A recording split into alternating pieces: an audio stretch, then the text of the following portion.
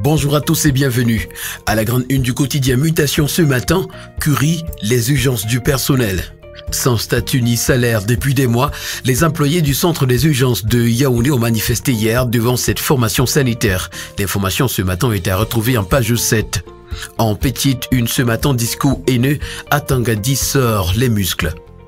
L'hebdomadaire Sandetto qui en parle également ce matin titre à sa grande une, discours de haine, le Minat annonce des mesures de répression draconiennes. Dans un communiqué radio-presse rendu public le 22 mai, le ministre de l'administration territoriale monte au créneau et dévoile le plan Marshall du gouvernement contre les discours haineux à travers les médias.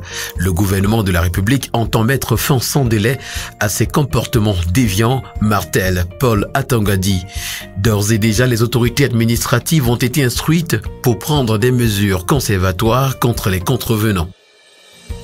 Le quotidien bleu d'Amalmana le jour en parle également lorsqu'il titre Atangadi annonce la guerre contre le discours de la haine. Le ministre de l'administration territoriale promet l'application des dispositions de la loi réprimant les discours de tribalisme.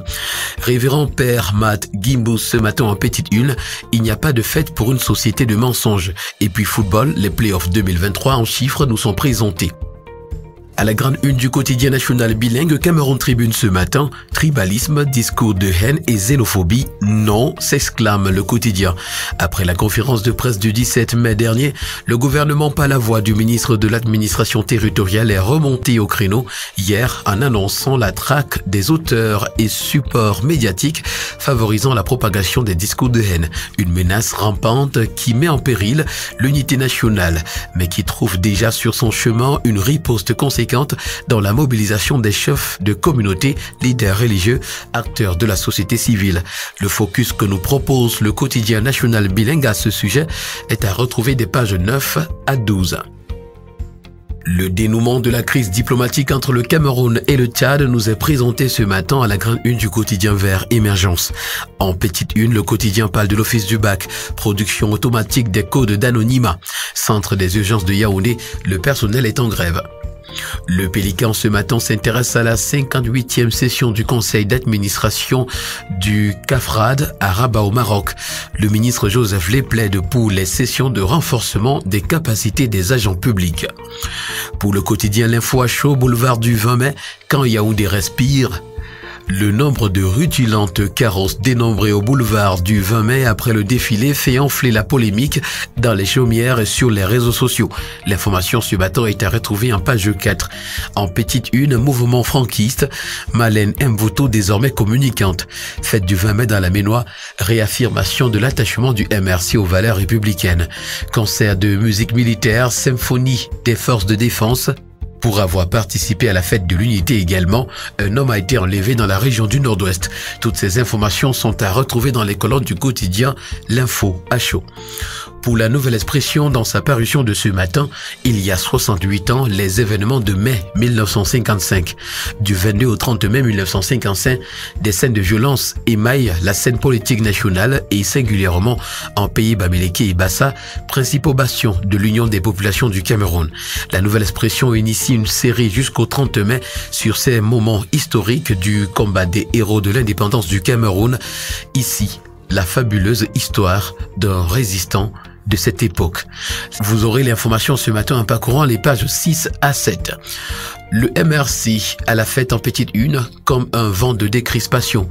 Insécurité, des explosions créent la panique. Bafoussam, les coulisses du défilé et puis journée de la biodiversité, l'importance de sa conservation nous est présentée.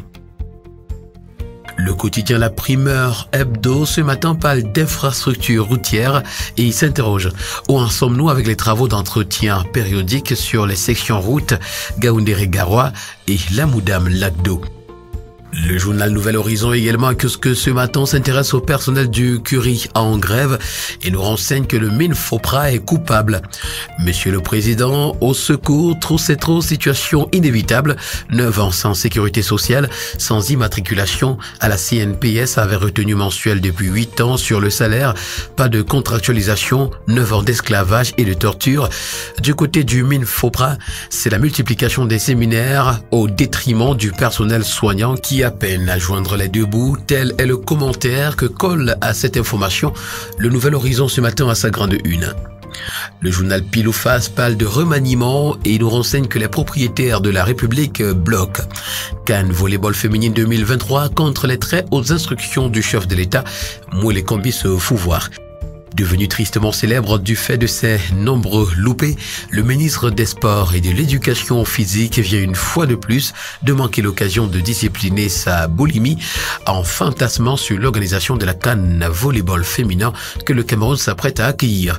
C'est l'information que nous pouvons retrouver ce matin à la grande une du journal Pile ou Face. Corruption et également le silence assourdissant du palais nous est présenté.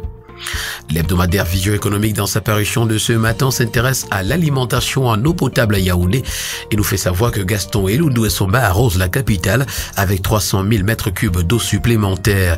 Le projet d'alimentation en eau potable de la ville de Yaoundé et ses environs à partir de la Sanaga Paipise, lancé en 2017 par le ministre de l'eau et de l'énergie, tutelle technique de la Camouette, viendra résoudre de façon durable le déficit d'approvisionnement en eau dans la capitale politique camerounaise. En petite une, programme avec le FMI, le Cameroun sur le point d'obtenir un décaissement de 45 milliards de francs CFA. L'hebdomadaire La Terre Promise revient sur les activités ayant marqué la célébration du 20 mai 2023 et titre Au banquet de l'unité nationale. La célébration de la 51e édition de la fête nationale a laissé l'impression que les Camerounais ont décidé de faire corps avec le chef de l'État Paul Biya et l'armée nationale pour s'opposer définitivement aux manœuvres de déstabilisation de l'État unitaire et exorciser le discours haineux ambiant afin de s'inscrire résolument dans une optique de vivre ensemble. Cameroun-Tchad, la voie de la normalisation et puis MTN Elite One Playoff, Coton Sport plus fort. Terminons ce matin avec le quotidien L'économie qui parle de gestion pétrolière et nous présente ce qui change avec l'acquisition des actifs de Petronas par le Tchad. Le processus s'est accéléré après la signature d'un accord entre Savannah Energy et la Société nationale des hydrocarbures, la SNH, ce qui a été à l'origine d'une brouille diplomatique entre le Cameroun et le Tchad. En petite une, filiari, une stratégie de développement adoptée. Finance, les fintech menacent les activités des banques traditionnelles en Afrique et puis Parc national de la Benoué, comment la corruption menace les ressources phoniques et foncières. Mesdames et messieurs, voilà qui met en terme à cette autre sortie de la revue camerounaise de la presse. Merci d'avoir été à l'écoute.